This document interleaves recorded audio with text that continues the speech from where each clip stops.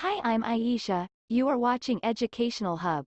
After you have identified a research problem for your project, the next step is to write a problem statement. An effective problem statement is concise and concrete. It should put the problem in context. What do we already know? Describe the precise issue that the research will address. What do we need to know? Show the relevance of the problem. Why do we need to know it? Set the objectives of the research. What will you do to find out? What is a problem statement?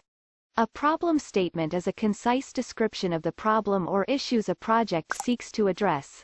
The problem statement identifies the current state, the desired future state and any gaps between the two.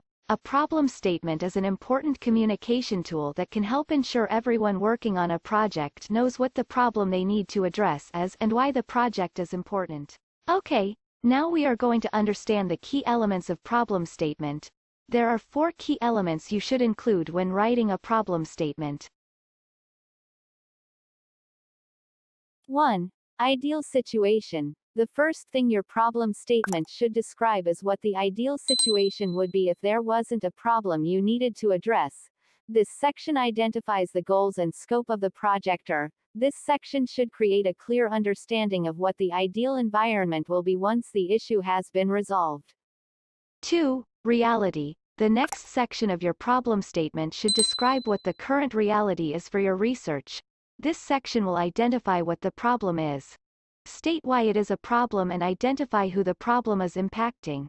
It will also describe when and where the problem was identified. 3. Consequences. The next section of your problem statement should identify what the consequences of the problem are. This section describes the effects of the problem by describing how the people affected by the problem are being impacted and quantifying how much the problem is impacting them.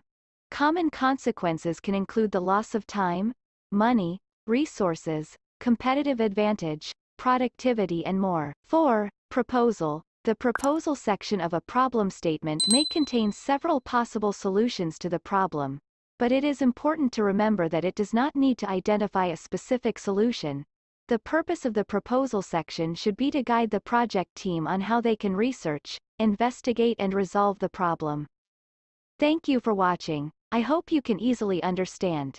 What is problem statement and key element? Like share and subscribe my channel for more informative videos about research.